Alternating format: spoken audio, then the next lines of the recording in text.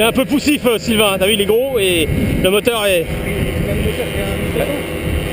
Ah, c'est le, le diamètre de l'hélice qui est pas bon. Ouais, il Faudrait, faudrait une 125, ouais. C'est pas une 120 C'est une 115. Mais le moteur, c'est le même. Mais euh, c'est un Ross 125, hein, c'est un 125 aussi. Mais l'hélice, c'est elle qui donne la poussée moteur. Plus elle est grande, plus t'as de poussée.